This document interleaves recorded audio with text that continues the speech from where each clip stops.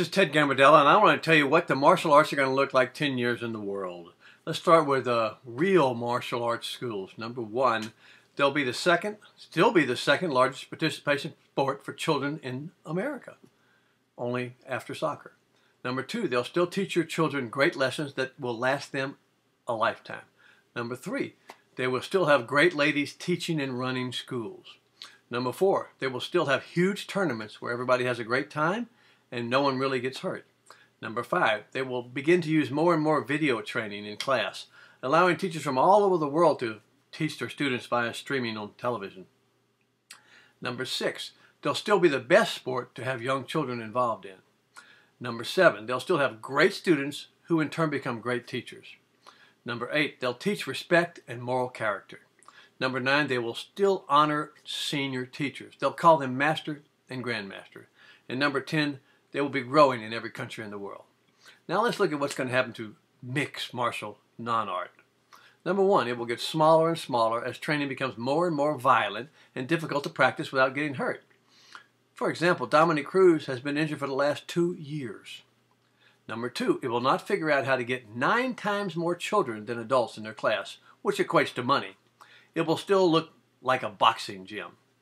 Number three, it will not be an art, it will still not be an art in 10 years, but a fighting class.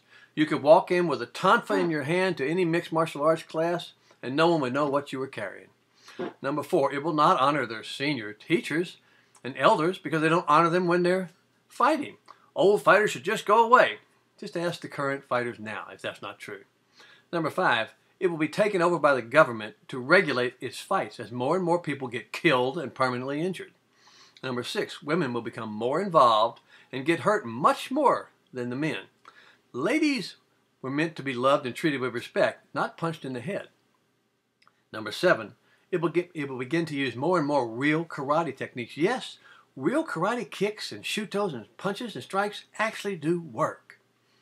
Number eight, it will be outlawed in many areas because of the non-rules that they allow their fighters to use. In some areas, across the world have no rules at all. They, they just punch each other and kill each other barehanded with no rules at all.